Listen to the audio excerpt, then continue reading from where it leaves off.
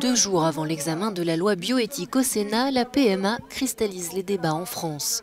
Ce dimanche à Paris, près de 26 000 personnes ont manifesté pour montrer leur opposition à l'ouverture de la procréation médicalement assistée à toutes les femmes, couples lesbiens et femmes célibataires. Une manifestation organisée par le collectif Marchons Enfants qui réunit 22 associations dont la Manif pour tous, opposée à l'ouverture du mariage aux couples homosexuels en 2012.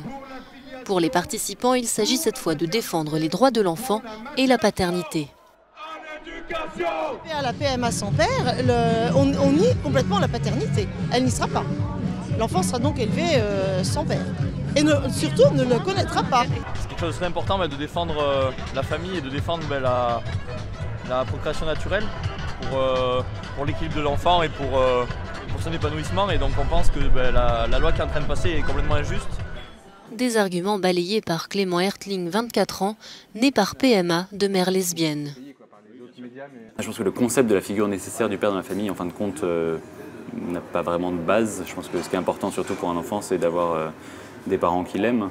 Euh, je pense que des, enfants qui vivent dans des familles euh, monoparentales qui grandissent très bien et qu'il y a des enfants qui, grandissent dans des familles avec deux parents qui grandissent, euh, enfin, qui ont plein de problèmes dans leur famille.